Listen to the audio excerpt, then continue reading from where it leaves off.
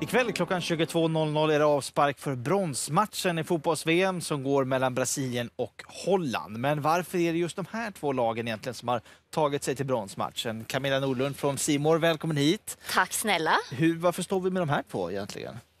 Ja, alltså tittar man på varför det blev Brasilien så känns det ju eh, ganska enkelt. Tyskland var, de var överlägsna. Det fanns, eh, fanns liksom ingen chans för Eh, för Brasilien att klara av dem. Tyskland har byggt, byggt sitt lag under så lång tid. Eh, Brasilien saknade sina två viktigaste spelare eh, och Tyskland gjorde ett snabbt mål och de tappade helt eh, organisationen. De var ostrukturerade och eh, och sen rann det iväg i en eh, takt som jag tror inte ens eh, förbundskaptenen Scolari själv kunde eh, förstå. Men man trodde ju inte att det var sant när man såg det här när Tyskland gjorde mål efter mål mm. efter mål efter mål. Eh, Brasilien har ju ändå varit ganska okej okay under turneringen fram till den punkten. Ja, fast man ska ändå komma ihåg att de har ju lite grann trocklat sig vidare. Alltså mot Chile i åttondelsfinalen var de nära på att åka ut. Då hade vi ett jättedramatiskt eh, straffavgörande som gjorde att de tog sig vidare. Eh, och jag tycker inte, om man kollade på Confederations Cup förra sommaren så var de betydligt mer ehm, kanske spelande än vad de har varit nu. Nu har de spelat lite mer eh, eh säker defensiv mm. fotboll. Så det är inte riktigt det här gamla klassiska brasilianska laget direkt? Nej, jag tycker inte det. De har spelat lite mer tråkigare kanske ja. man kan säga. Och sen så som sagt, de två eh, viktigaste spelarna saknades och det, jag tror de tappade en struktur i laget och när det väl började rinna så hade de ingen naturlig ledare som gick in och styrde upp det. Mm.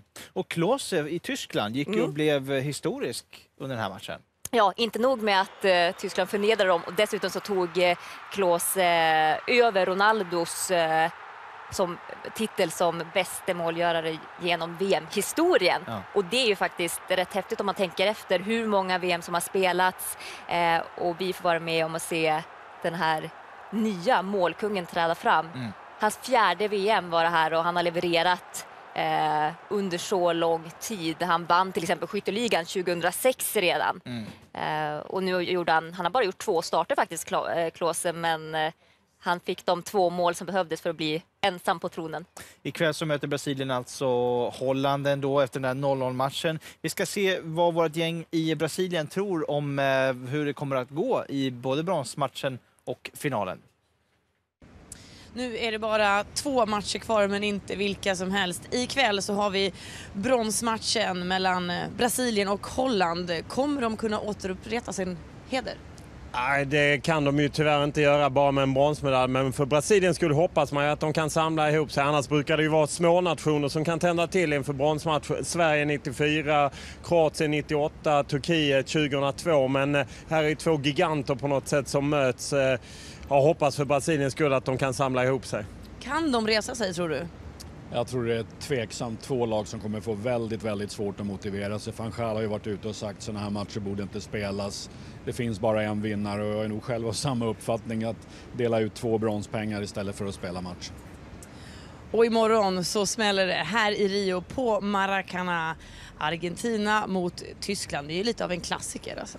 Ja, det är ju två gamla VM-finaler från 86 och 90. Kanske en av tidernas bästa VM-finaler och en av tidernas sämsta VM-finaler. Så att, eh, vi hoppas ju att det blir mer 86 än 90 eh, och eh, det är svårt att säga annat än eh, att Tyskland är favoriter men Argentina har ju Messi så att ah, lite speciellt blir det. De är ju nära också, många fans här. Hur kommer det gå? Ja du, det är VMs bästa defensiv Argentina mot troligtvis den bästa offensiven i Tyskland så nyckeln är ju alltid egentligen för offensiva laget klarar man av att dyrka upp en så massiv defensiv som Argentina har men Tyskland känns ändå som en knapp, knapp favorit. Vilka har du som favoriter? Jag tror Tyskland eh, ser eh, starkare ut än eh, Argentina. Men Argentina har hela tiden gjort vad som krävs. Det är ju också lite imponerande. En rad en eh, uddamålsvinster och fyra nollor. Det var nog ingen som trodde att de skulle klara av fyra nollor inför VM. Det blir en riktig rysare här på Maracana-stadion imorgon.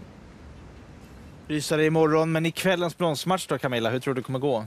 Jag tror den stora frågan är om Holland hinner återhämta sig fysiskt efter den urladdningen och om Brasilien hinner återhämta sig rent mentalt. mentalt. Eh, och vem som lyckas av det bäst.